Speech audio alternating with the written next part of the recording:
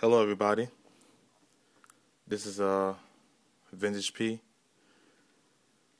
Uh, this is a video response to um, I think it's Hefe de Hefe H E F E D E H E F E. He's showing a Draco mod, uh, pistol mod, like for the sling, about going to uh, I guess Walmart and whatnot.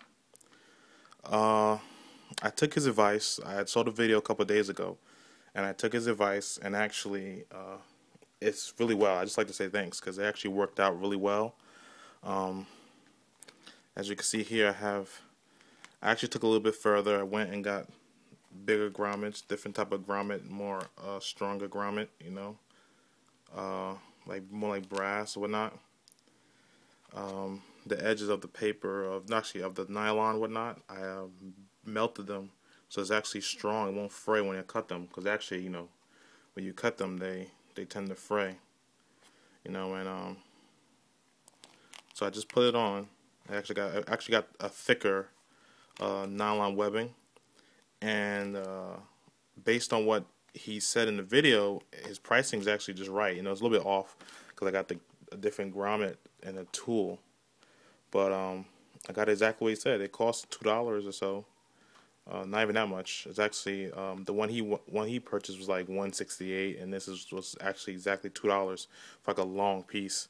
I just cut a piece off. Um, I've actually just put this on here, uh, so you can take a look. Well, first thing, well, it's not loaded. The mag, the mag is loaded, but uh, it's not loaded.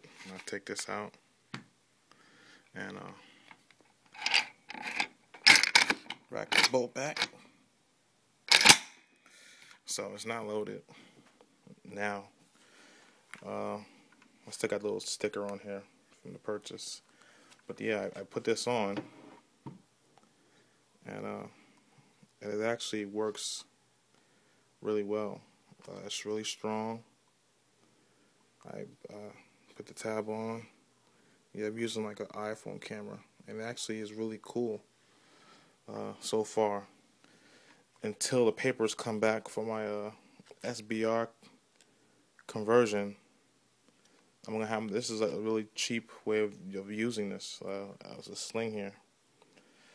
I also uh, did the finishing the wood, refinished it. It was like that really nasty uh, like the way Dracos come, that really nasty type of wood finish, like that blonde, not even blonde, it's like dirty blonde without finish or whatnot. So I actually finished this up today.